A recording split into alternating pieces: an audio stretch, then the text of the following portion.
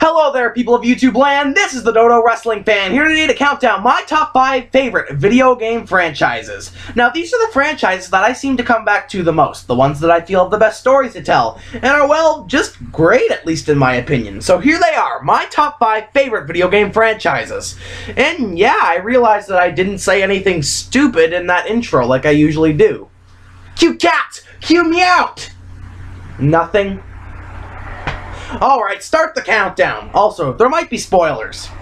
Number 5 is a tie between two game franchises, and those would be Kingdom Hearts and Assassin's Creed. But let's start off with Kingdom Hearts. Why do I like it so much? Well, the gameplay is fast paced. It may most of the time be mashing the X button, but take it from me, if you play these games on Proud or Critical, they can be really hard.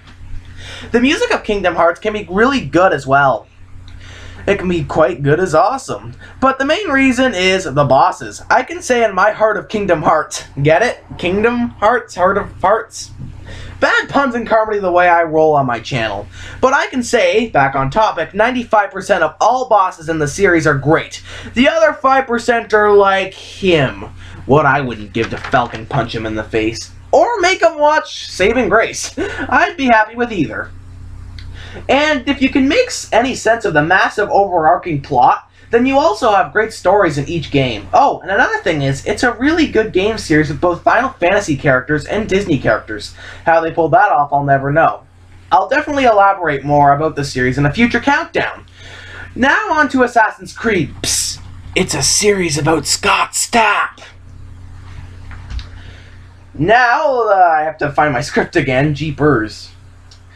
I really, really love the parkour gameplay. Anything and everything is climbable, and the historic set pieces look great in each game. The assassins themselves are great characters. My favorite assassin is Ezio Auditore, because in my opinion he has the most personality. But they're all great in their own way. I guess the perfect way to describe Assassin's Creed is history class made fun. Also, the Hidden Blade is easily one of my favorite weapons in all of video gaming. Like I said, I'll definitely elaborate more on why I like these series so much in a later video. But now it's on to number four. And number four is that a fat Italian plumber. No, not that kind of fat Italian plumber. That one. Mario. Ah, yes, the Mario franchise. Without it, most likely the other franchises I have on this list wouldn't be here without this guy. Not him. There you go. Jeez. But I didn't just put him on here because how important he is. I put him on here because all of his games rock. Well, maybe not all of them. But most of them. Ever heard of Super Mario Bros. 3, Super Mario World, Mario 64, Sunshine Galaxy, the list goes on and on?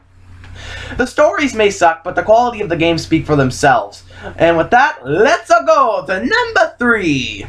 Number 3 is the Devil May Cry franchise. Now, this series is the definition of underrated. I mean, the main protagonist, Dante, is my spoiler, favorite fictional character of all time. But let's talk about the games. And in my opinion, they're all really good. Yes, even DMC2, live with it. If you don't know, DMC2 is the Sonic 06 of the DMC franchise, the game I like that everyone else hates.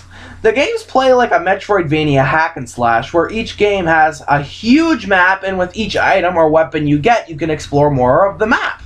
The DMC franchise has an amazing plot. Hell, they even made a really good anime out of it. And with great bosses, amazing level design, and still a lot more to talk about about the DMC franchise. Now, it's time to go on to number two. Now, could somebody get me a slice of pizza and a strawberry sundae, or fill my Dark Soul with light before I get to number two? That would be greatly appreciated.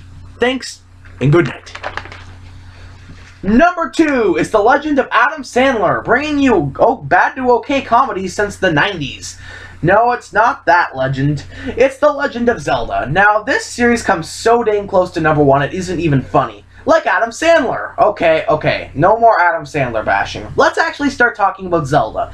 Now, where do I even begin? There's so much to talk about. I guess I can say no other series shouts the word adventure more than Zelda. I love the dungeons, I love the bosses, I love the soundtracks, I adore the stories. Matter of fact, the first game that I think of when I think of a good video game story is Majora's Mask. And whenever Nintendo gives Link a personality like they did in Twilight Princess, he's a great character. The series also has the most iconic sword in all of gaming, the Master Sword.